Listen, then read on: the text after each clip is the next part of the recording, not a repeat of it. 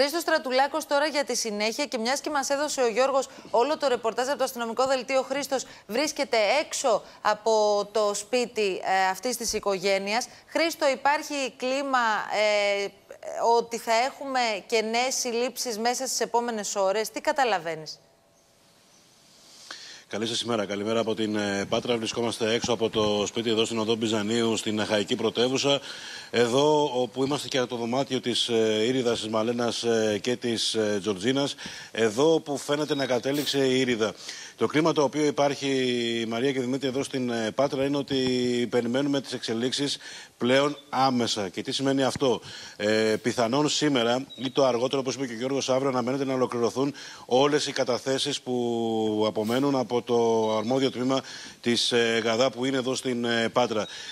Τι περιμένουμε ακόμα; Σίγουρα θα καταθέσει η μητέρα του Μάνου Δασκαλάκη, ε, που θεωρείται και αυτό κομβικό, ε, να δώσει ε, κάποιες απαντήσεις και η ίδια για το τι ακριβώς ε, δεν συνέβαινε. Δεν έχει μιλήσει καθόλου η οικογένεια του Δασκαλάκη τόσο καιρό. Έτσι δεν είναι Χρήστο ή κάνω λάθος; Όχι, δεν κάνεις ε, καθόλου λάθος, ε, Μαρία. Το Σάββατο ε, στην Γαδά βρέθηκε ο πατέρας του Μάνου Δασκαλάκη, ο οποίος μεταξύ άλλων αυτά τα οποία ανέφερε είναι ότι έχουν πέσει από τα σύννεφα.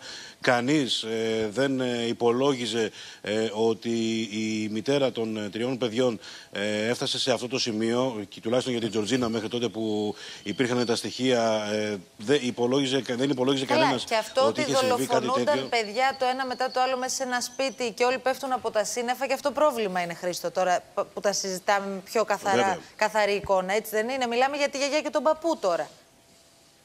Ακριβώς, ακριβώς. Είναι ο παππούς από την πλευρά ε, του συζύγου της Ρούλα Πεσπυρίκου. Ε, το ίδιο είπε και η μητέρα της χθες ε, στο τμήμα Ανθοποκτονιών ε, που είναι εδώ το κλιμάκιο, ότι η κόρη της δεν έχει κάνει απολύτως τίποτα. Είναι αθώα και για την περίπτωση της Τζορτζίνας αλλά και για τα άλλα δύο παιδιά, και την ε, Μαλένα και την Ρίδα. Να σας πω ότι η συγκεκριμένη κατάθεση δόθηκε όταν το πόρισμα έγινε γνωστό στο τμήμα Ανθοποκτονιών της Γαδά. Οπότε απάντησε και επί των συγκεκριμένων η μητέρα Τζιρούλα Πεσπυρίγκου, όπως επίσης και ο πατέρας, όπου ήταν η δεύτερη ε, κατάθεση της ε, χθεσινής ημέρας στο αστυνομικό τμήμα της Κάτω Αχαία. Ε, και πιθανόν σήμερα να έχουμε τον ε, πατριό ε, και, την, ε, και, τον, και την μητέρα του Μάνου Δασκαλάκη. Και όπως είπε και ο Γιώργος πολύ σωστά, οι καταθέσεις θα ολοκληρωθούν με τη Δήμητρα Πεσπυρίγκου, διότι εδώ στο συγκεκριμένο δωμάτιο που βρισκόμαστε, όπως η ίδια έχει πει, ήταν στο σπίτι εκείνη την ημέρα η ίδια και η Δήμητρα Πεσπερίκου. ε, και η Δήμητρα Πεσπερίκου και η Ρούλα Πεσπερίκου. Ε, οπότε ε, έχει δώσει την πρώτη κατάθεση ε, και στους αστυνομικούς ε, τα όσα έχει πει και πλέον δεν αποκλείεται τις επόμενε ημέρε. Στην πρώτη κατάθεσή της τι είπε, Ότι η αδερφή της, για παράδειγμα, δεν έχει καμία σχέση με όλο αυτό; Πώς βρέθηκε νεκρό το παιδάκι, τι υποστηρίζει; Όσον, όσον αφορά την Ήριδα, αυτό το οποίο είχε πει στους αστυνομικούς ε, εκείνη την περίοδο στα πλαίσια της έρευνας που είχε γίνει από την ε, τοπική ελληνική αστυνομία, είχε πει, αν θυμάστε καλά, το έχουμε ξαναναδείξει, ότι ε, το πρωί εκείνης της ημέρας ε, σηκώθηκε η ίδια, της είπε η Ρούλα να πάει στο δωμάτιο το παιδικό, ε, να ξυπνήσει την Ήριδα προκειμένου να πάνε μια βόλτα.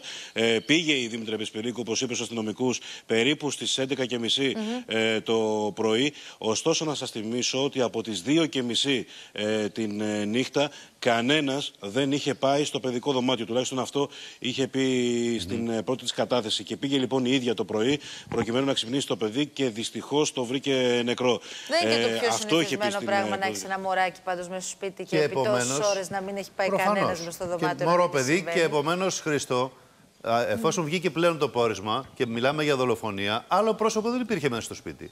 Σύμφωνα με τις ίδιες λέμε πάντα. Αυτό δεν λένε οι ίδιες. Ακριβώς.